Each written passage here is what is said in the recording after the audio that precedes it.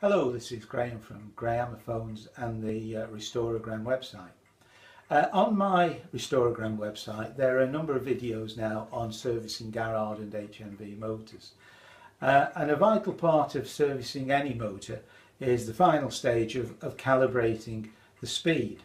Now initially when I started to uh, restore gramophones I set the speed by taking a reading from uh, a playing record on the turntable. Um, obviously, you know, it seemed to me at the time that the, the sound box was going to create drag on the record surface and the weight of the, the sound box were going to have a negative effect on speed. So that seemed the sensible place to do it. However, particularly with HMV portables, it really was an inconvenience because you had to keep stripping down everything, removing the turntable in order to get at the uh, at HMV system of adjusting speed. So I gradually, in a way, cut corners and found that my cutting of corners was not necessarily producing overly bad results. Um, so much so that, that I now set the speed of a gramophone purely on the spindle. Now, purists would say, oh, you can't possibly do that. There is going to be drag. Well, in order to prove that there isn't all that much drag, I have done two sets of tests.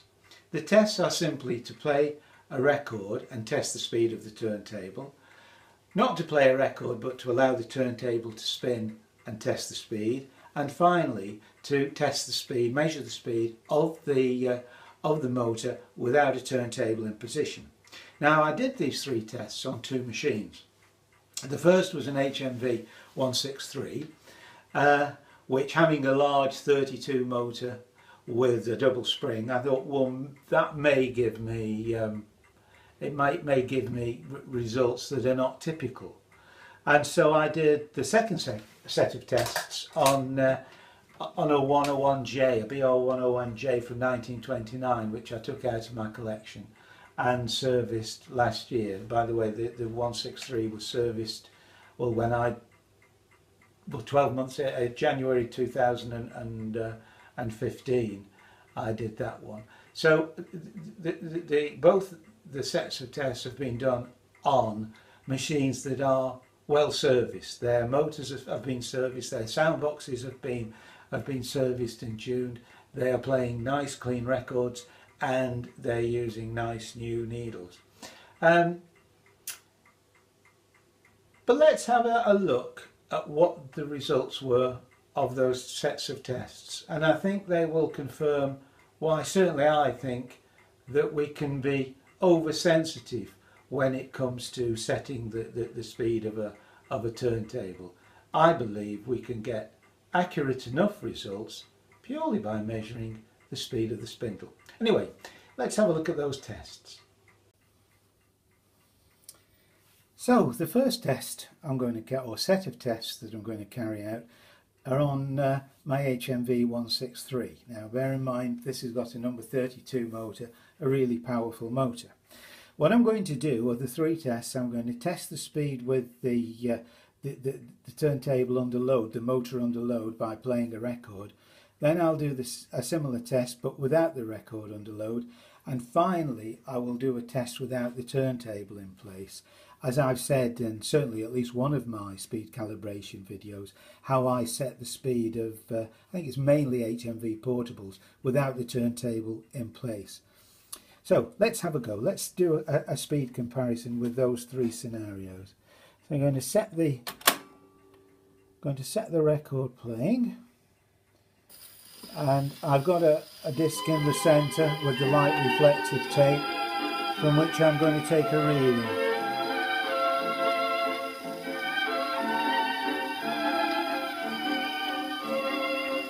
And there's our first reading. With the turntable under load, it's revolving at a speed of 78.2 RPM. Okay, I'm going to stop that remove the record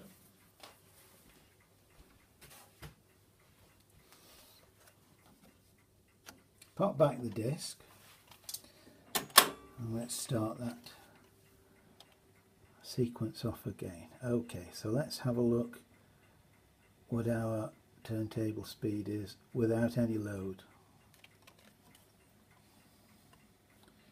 78.2 RPM. Now I think that proves that particular point on, the, on this particular machine that there's no variation.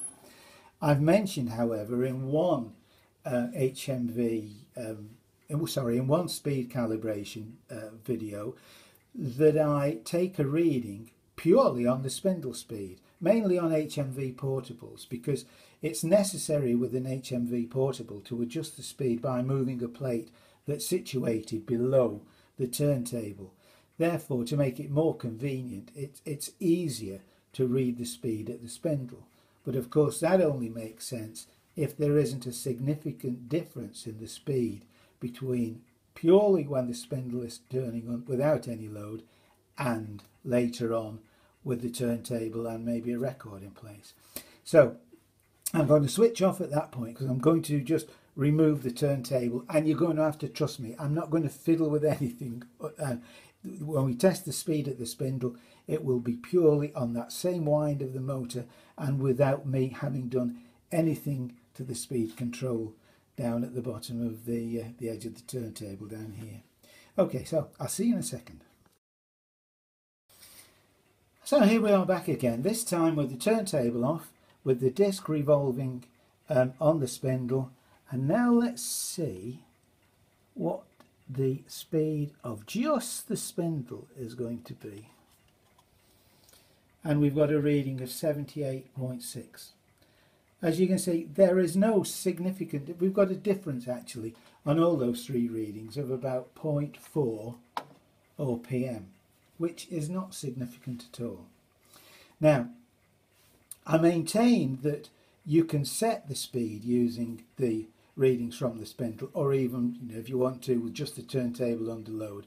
But there are there are conditions to getting accurate readings at that on, on at those uh, situations, and those conditions are that the sound box is well set up, that the needle is new, that the record is clean, and that the spring is clean and the motor is is well set up, and particularly that the motor is is a good strong one.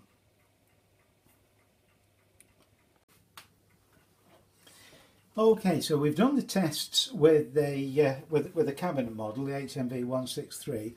I've dug out and uh, I've I've dug this out at random. This is a uh, from my collection. This is a, a 101 from 1929, a 101J. Um, so let's do the same three tests on this portable that we did on the 163. So I'm going to set the the record revolving and let's take a reading.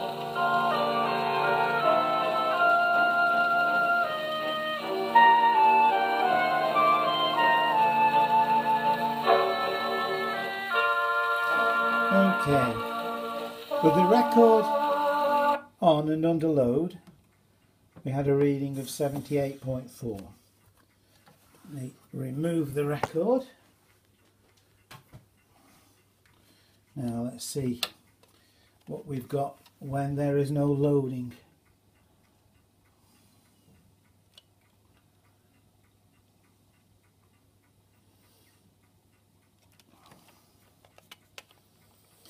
and there we go get that into focus. So without a record it's 78.6 so it's gone up 0.2 now let's do the test that we did before and remove the turntable. So as before I'm just going to switch off and remove that turntable and then we'll carry on with the tests. Okay so now we've got just the the spindle speed. We've got the spindle revolving and we've got uh, no turntable in place so I'm going to take a reading here and we've got a reading of 78.5. So I'm not going to say any more. Um, I think that, that proves what I've been saying all along, that actually you can take a reading there and on a well-maintained machine you will have an insignificant difference between that and the final speed of the record under load. Well, I hope you found that interesting. I hope you found it enjoyable and um, I hope you'll come back again sometime and see me some more. Bye bye.